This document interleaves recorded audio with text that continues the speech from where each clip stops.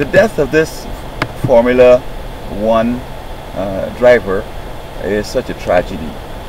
Maria de Villota died at 33. And um, they're saying that uh, there's no obvious sign of why she died, maybe of natural causes.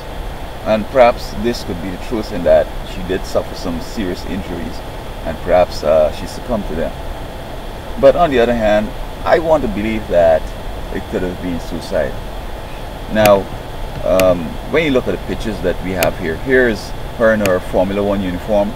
She looks so young and her hair seems to be blonde and, and so happy.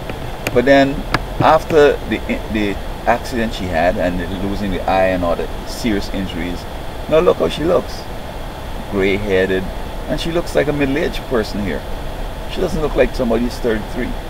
Now this begs the question of women, you know, sort of uh, trying to be modern and getting the things that aren't traditionally um, they want to be in the military. They want to be doing strength jobs. Listen, in the past, women used to do things like nursing, uh, teaching, you know, service jobs, not these strenuous jobs. No, women don't have that kind of strength. Okay? Somebody said that women have a lot of strength in the uterus to be able to help in uh, childbirth and so on. Um, can you imagine a woman's holding on on something, trying, doing like tug of war, for example, going on like two, three, four hours? She can't. She doesn't have that endurance, that kind of strength. On the other hand, uh, a man doesn't have the finesse, and um, he might not be able to uh, tend to kids, you know, a newborn baby, and so on. Um, you know, after being a construction worker, I mean, his normal touch is going to be so hard that he might injure this child. Uh, she needs, he or she, the baby needs a, a tender, you know, body and touch and so forth. And this is why women wear this, you know, light and, and soft and the flesh is tender because the baby's lying there. And even the old man too lying on that nice body, it's be so refreshing and so uh, recreative and uh, energetic and energizing and so on. And so um, she's gone into this formula racing and perhaps uh, she got distracted with some feminine sort of view. Bam, the accident, or I don't know, maybe it might have been a malfunction car. I didn't study the accident, but you know, uh, but then, no, I, I guess the injury could have caused degeneration. But then, I, I want to believe she's kind of doubt, you know, sort of doubting and, and double um, checking. Like, had I just married my boyfriend and gone home and be mom, you know, it would be such a different thing. And wearing how you know she doesn't look good because women, no matter how old they are, they like to be told they're pretty, and they do things to uh, maintain that aura of beauty and so on because perhaps this helps to attract the male and uh, so on. Uh, I recall in Puerto Rico there are some women in the uh, Puerto Rican police, state police, and um, they went up front line at the universities, so to strike and so forth. And when the action came to them uh, and they tried to cross the line, the women were pulling the face back because they don't want somebody to pull the hair or to scratch them in the face. Because after she leaves that job, she has to go out in society looking good, and um, she wants to be able to attract her man. Now, for example, if she got her face burnt up and cut up and scarred up, and, and no plastic surgery or, or cosmetics could hide it, right? Like in this case here, she lost her eye. Now, I don't know why they didn't give her a marble eye and let her wear shades, but this kind of patch, like uh, uh, making her look as uh, though she's. There was some famous, um, I think it was an Israeli famous soldier or whatever that wore something like that. I mean, it looks so not so feminine, you know and uh, I'm saying that she's second guessing herself, all this kind of thing. And then she realized that, you know, with this eye here, nobody's gonna want her. I don't know if she had a boyfriend, I don't know. But, you know, I'm just speculating here. So I think that she has summed up, look, I'm a waste, I'm a lost. Um, she's wasted her time uh, trying to go after something which don't necessarily lead to women success. Deep down in the heart of a woman, I don't care what she is, there are certain things that would make her feel uh, successful.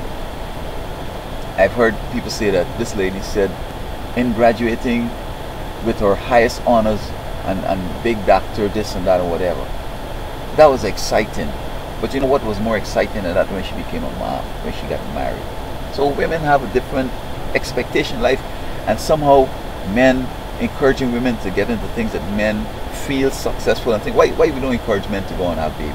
Well, of course, that's impossible, right? But, you know, I mean, this is what we do. We do we doing these women a great disservice by pushing them into things that are sort of contrary to what would be best for them. We're thinking what would be best for the country and what would be best for our men. I recall long ago women, when they get together, they will go one side and talking about whatever, and the men one side. And men are saying, you know, my wife, she's not a good company. When we're talking football, she's gone. Or when we're talking boxing. So now women now trying to understand boxing and football and all these sports and men brutality things.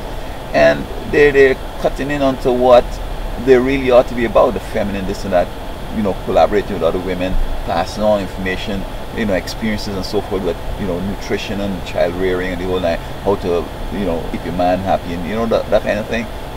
So I want to believe that in, in total, uh, she feels disappointed, she's feeling rejected, she's feeling lonely, and uh, her only way out is, you know, perhaps to do a mild suicide, or perhaps the worry and the strain has caused her heart to give out, perhaps, which is kind of suicidal in a way.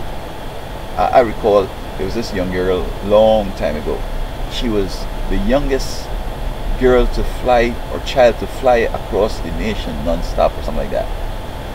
But that is not what going to make a woman happy.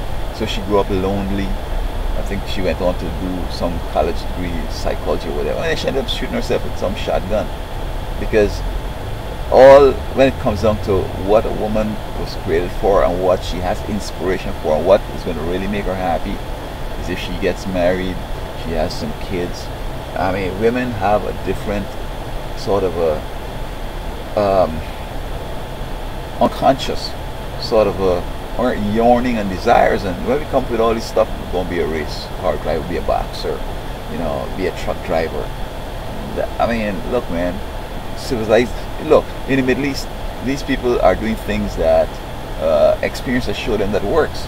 They put a woman as the president or as the army general uh, I mean, you're changing this lady. She should have been out there, you know, uh, bringing forth life and, and, and holding the home together and holding society together.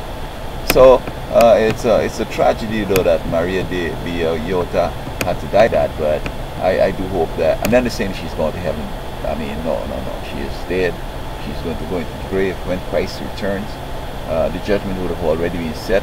Her character is already set whether she's going to go to heaven or to hell is already set at death so that um, she's just not going to wait the return of the Lord whether he's going to you know pronounce her to eternal damnation or to take her uh, to be with him. So she's not joining no angels. She hasn't gone to heaven. She's going to be right in the grave and waiting for Christ to return to uh, give her her reward